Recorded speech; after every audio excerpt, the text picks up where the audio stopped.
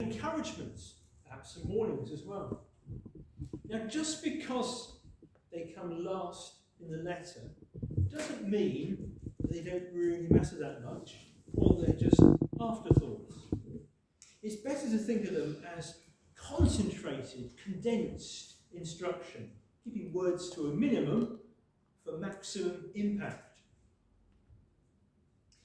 Summing up these six verses here, if you like a title, who and how we should love. Who and how we should love. And so it starts there in verse 1. Keep on loving each other as brothers. Keep on loving each other as brothers. We should love each other as brothers, as family. And when it says each other, that means people in the church, those in the church who are born again. And it also says, keep on loving each other. You notice that? That is an encouragement in itself. Because if they're to keep on, that means they're doing it already. That's good news, isn't it? And it means they're obeying that command of the Lord. Remember when the Lord Jesus said, John 13 34, A new commandment I give to you, that you love one another as I have loved you. And by this, all men, all people will know that you are my disciples. And they're obeying that. That's very important, isn't it? They're obeying that new command of Jesus, that it will be the hallmark of Christ's disciples, an identifier, if you like, a badge, which shows that we are truly his. And just to add some application to that, how are we doing at this? How are we doing it? At loving each other as brothers. How are you loving those who love Jesus? Verse 2, a bit of a curious one, this. Uh, a friend of mine from uh, Harold Hill, he used to, who wasn't yet a Christian, he used to find great fascination with this fascination with this verse. Verse 2 of Hebrews 13 Do not forget to entertain strangers, for by doing so, some people have entertained angels without knowing it. It sounds quite mysterious, doesn't it? Quite exciting. Immediately of what happened Genesis 18 last week, didn't we? And we have the Lord and two angels who are there eating a meal that Abraham has prepared. Um, I'm not sure of other times that it's happened, uh, but there in this verse it says, Do not forget to entertain strangers. So it's showing love to strangers. Who and how to love? We're to love each other as brothers, to show love to strangers. Now, for a practical application of this, not necessarily for my life, but towards me, I've got a story that goes back some years. Um, I was backpacking uh, around Europe with a friend, and uh, we planned out all our stops that day. And unfortunately, even though it was Austria, we think everything runs on clockwork, the train was delayed. And that means that meant we couldn't catch the last train that went and caught up with a boat across the lake to get to where we were supposed to be going. Uh, and so we were stuck in this town, thinking, what do we do now? There's, we've got a tent, but there's no campsite here. And, uh, we were a bit stuck. So we just walked down the street. We said, well, let's pray. My friend and I, we prayed. And we looked up, and uh, this man, he's in his 60s, and his wife were just walking back, and it was dusk at this time, it was in August, and it was just dusk, so the light was fading. And uh, they were just walking back from somewhere, and they looked like locals. And um, it was clear they only spoke German, they only spoke English at all. And we tried to do some hand signals, so we've got a tent, uh, this kind of thing. And he talked to his wife, German, and then he tried to make some hand gestures to us. We tried to explain some more, but we weren't really sure what was going through. He spoke to his wife again, and then he beckoned with his hand. And we thought, where's he going to take us to? Campsite or something like that? Show us where to go? Well, we didn't know. And then he came to a, a, a small block of flats, low-rise flats. And I thought, oh, great, we can camp in the garden here. Oh, brilliant, excellent. No. He goes in, goes up, I think they lived on the first floor, and uh, beckoned us in. Really? Were amazed. And then he showed us into his little humble flat, and um, there was, I guess it was like a bed set in. Put it all out. Really? Wow. Thank you, thank you, thank you. And then beckoned us in. And uh, his wife into the kitchen. His wife had made this big, like a fruit loaf thing, fruit bread, quite large. Really deft, really, uh, really quick with a knife Just chopped off three, four, five slices for you. He didn't say for you, just with his hands again. Really? Treated like royalty. You know, it's everything they had. Even when he saw my camera, he even would open a drawer and show me his camera, his pride and joy. Amazingly trusting. So, we went to bed, thanking God for his answer. Got up the next morning, that same fruit loaf came out again. there you go. And he fed us. It didn't even end there. When we showed him the train timetable, where we wanted to go, he actually took us down to the station. He seemed to know the train driver as well. And, um, and he got us up on, uh, set on the train. And we didn't even know their name. So there is a place in Austria called Attnang-Puchheim. So we just know, we just speak of them as Mr. and Mrs. Attnang-Puchheim. So, and there is an example, I know they weren't necessarily Christians, we don't know. There's an example of this, we're, we're not necessarily angels either, uh, but uh, don't forget to entertain strangers. You know, there's a wonderful example there of those people um, back then. So we should lo show love to strangers. We don't know how it might help them. Verse 3 Remember those in prison as if you were their fellow prisoners, those who are ill treated as if you yourselves were suffering. Showing love and for Christians in prison and those going through persecution. Another way of showing love. Again, we're on our, our, our list, if you like. That might sound a bit dry, but we're, we're noting down the people and groups. Who should we love? We should love each other as brothers. We should even show love to strangers. We should show love and concern for those Christians in prison going through persecution. This is a particularly interesting instruction in our day, in the 21st century, because we get so much information about Christians who are suffering. In my hand, I've got the, the Barnabas uh, Fund um, prayer diary. There's obviously a prayer diary from every Christian organisation you can think of, whether it's Mission Aviation Fellowship or Open Doors or Release International, it goes on and on. And there could be so many different people we're praying for. We've got reports from all over the world regarding imprisoned and suffering Christians. And here is the Lord clearly telling us that we need to be praying for them, lifting them up in prayer, presenting their needs to the Father. So you know, we believe that God has orchestrated all this, that we are given this so that we can pray, that we're given that information, we can pray with intelligence, as we say. Then it comes to verse 4. Marriage should be honoured by all, and the marriage bed kept pure, for God will judge the adulterer all the sexually immoral. Who and how we should love. We should love our own selves. And get this, love everyone else enough to keep our hands to ourselves.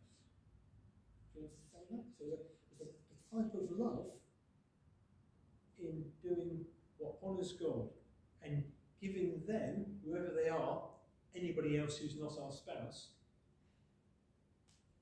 their ability to be the people that they have been called to be by God. I wasn't around for most of it, in the 60s, you know, we have the sexual revolution, much trumpeted. Summer of Love, when 67, I believe. Free love, spoken of as free love, but no, it wasn't at all. Nothing, nothing of the sort. And we need to remember that what God has written is never out of date. What He's written here is for all time. It is beautiful and wonderful. And just because the 1960s people wanted to start off a revolution, as they said, something different, does not tear out the truth of the Bible. We need to keep to it. This, this is God's definition of love, and therefore the only correct definition. Marriage should be honoured by all, and the marriage bed kept pure, for God will judge the adulterer and all the sexually immoral. And sometimes we need the threat of judgment over us not to do something, better it is when we are motivated to do what's right because of wanting to honour God. So it's not just a don't do this or this will happen to you, but rather that we do it because we know that is the best way for us. The way to honour God and wanting, of course, to honour each other. And oh, that the church would look at this verse, Hebrews 13, verse 4, the church would look at this verse obey it. The devil seems to attack Christian marriage more than anything else in society. The whole world would practice this honouring marriage. That would be incredible. If the whole world did it, we should not simply accept those who don't love the Lord as their Lord to live as his people. But those of us who are his people, we should show the world and the rest of the church what kind of behaviour honours him. I read recently, love will endure when you keep it pure. Love will endure when you keep it pure. Marriage is not about seeking my fulfillment. It's been said that success in marriage is more than finding the right person, it's becoming the right person. Giving ourselves first to Christ and then to each other. We said at the beginning of the service, didn't we? Uh, in Psalm 18, I love you, my Lord, my strength. We put God first. We give ourselves first to Christ and then to each other. This is the pattern. Who and how to love. Keep on loving each other as brothers. Love. Love to strangers. Love those who are being persecuted, treated or in prison. Love your and love everyone else enough to keep your hands to yourself. And then, in verse 5, we're, we're not to love money. We're told not to love money. Verse 5 of Hebrews 13 Keep your lives free from the love of money and be content with what you have. Because God has said, Never will I leave you, never will I forsake you. I'll be honest with you, for decades, I couldn't understand this verse. I really couldn't. I couldn't understand the connection between us loving money, not loving money, and the faithfulness of God. And then one day I did get it. God gave me the understanding of this. Keep your lives free from the love of money. And be content with what you have, because God has said, Never will I leave you, never will I forsake you. That He is to be our treasure. When we put God first, He is our treasure. when we are longing for money and the things that money buys, and we're discontent with what we have, that is not the place to be because spiritually we'll be off track. No. God has said, He has said, Never will I leave you, never will I forsake you. Take Him at His promise. We believe Him. He's better than all the things that money buys. Better than having money, better than the security of having loads of money. That's why it says, keep your life free from the love of money and be content with what you have, because God has said, Never will I leave you, never will I forsake you. So instead of building on money or contentment in the things that money buys, we're building our lives on the faithfulness of God, building on His promise. Says, Never will I leave you, never will I forsake you. His claim, His promise, and He is the true treasure that we find in life. And so, he says, we're ending this section now, these six verses. And so we say with confidence, The Lord is my helper. I will not be afraid. What can man do to me? What can man do to me? And to think about the verses in Luke chapter 12.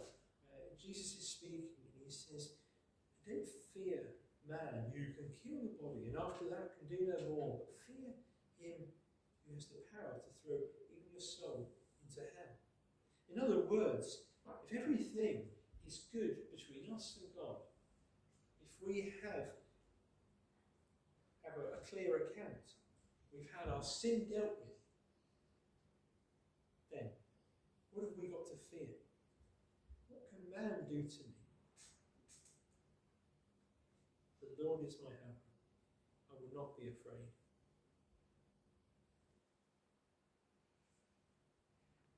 Of course, he's quoting there from the Psalms, 3,000 years old. This is scriptures here in Hebrews 13 are 2,000 years old. This is very old. Is it antiquated? Well, it's old, as in it's been written a long time ago, it's not old like that, is it? It's timeless. It is for us today just as much as it was for those people who first had it read out to them as it arrived uh, uh, by, by a, a, courier, by somebody bringing it to them and having it read out in their church.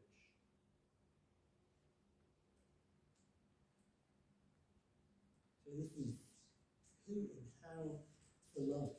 And I hope you agree with me. These are wonderful truths, not just afterthoughts, are they? At, uh, the stuff at the end of your letter. But they're pithy things, full of truth, that we need to remember, and most certainly we need to practice in our own lives. So let's pray together that we might love like this.